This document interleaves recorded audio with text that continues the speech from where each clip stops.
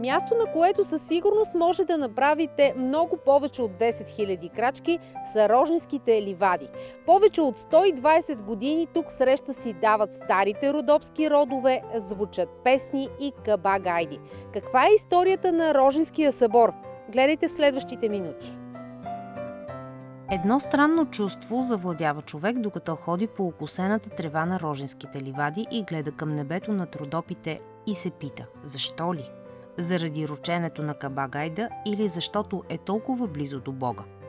Всеки има своето лично обяснение за чувството, което бушува в сърцето, но едно е сигурно – че в продължение на десетилетия Рожинските поляни са място, на което хората се събират – за да пеят и танцуват заедно, за да споделят и мъката и щастието с най-близките си.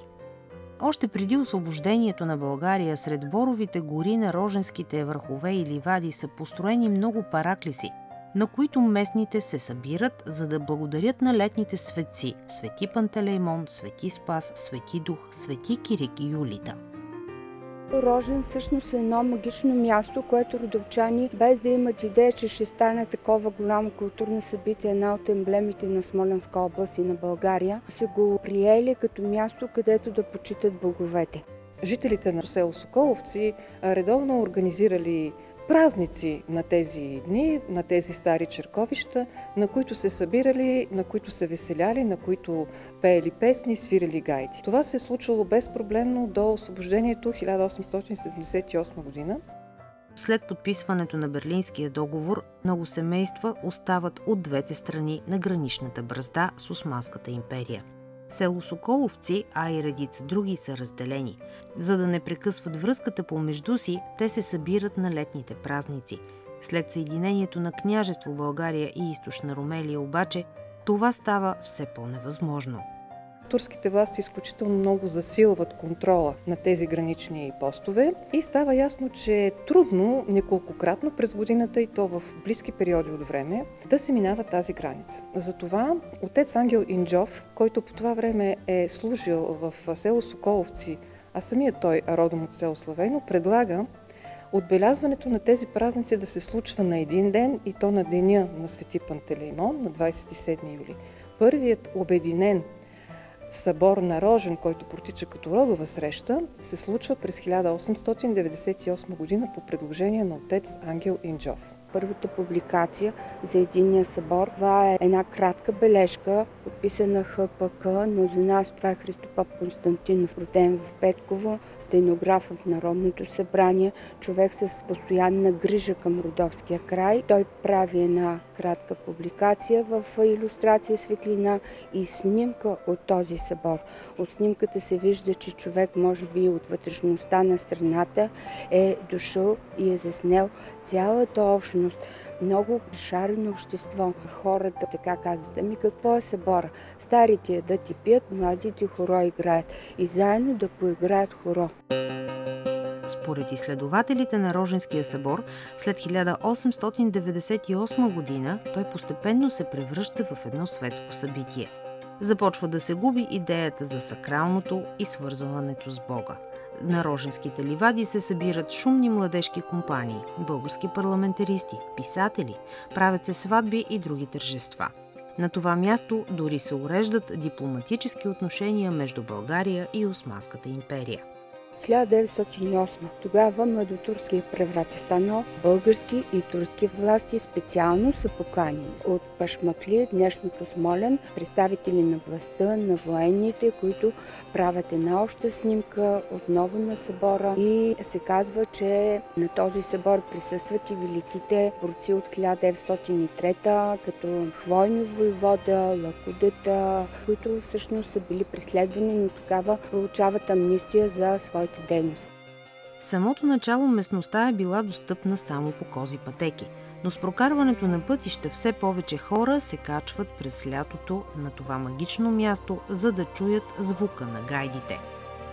Навлиза модерното. Снимките ни гледат жени с наистина модерно облекло. Това са съпруги на чиновници, на военни, но и жени с родовска носия, които държат в ръцете умбрела, както са казвали, чадър. Много са обичали да се кадросват на фотоапаратите, които изнасяли тукашни местни фотографии.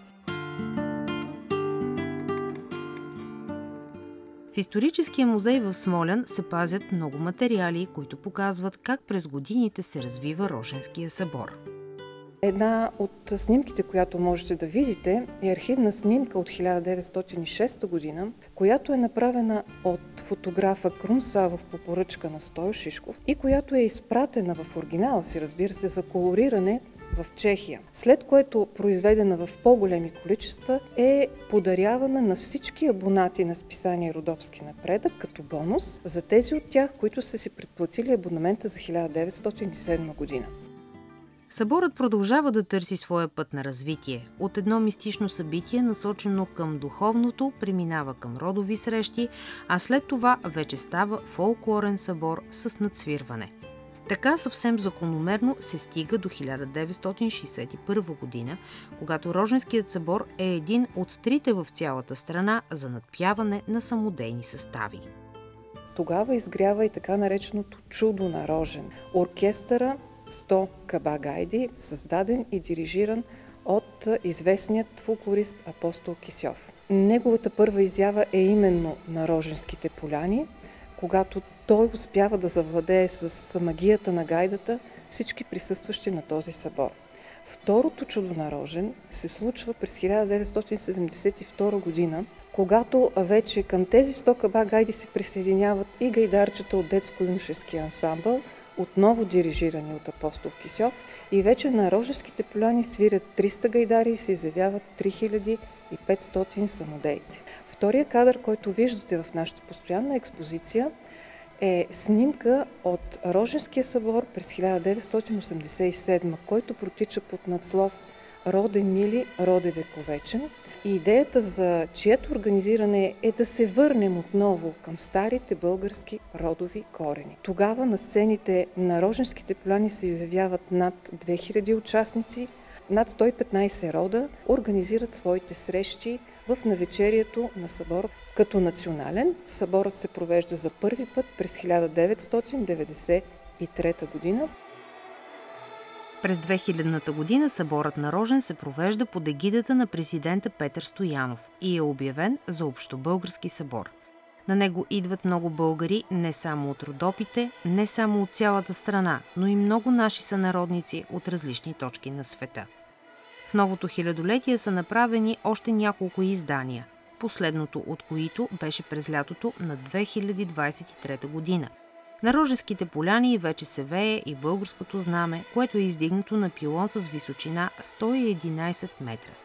Не само самодейни творци, но и много занаячии показаха своето майсторство с идеята да възраждат и пазят старите български традиции. Огласени от гайди и родопска песен или притихнали в тишината роженските поляни остават притегателно място за туристите през цялата година, а входът е свободен.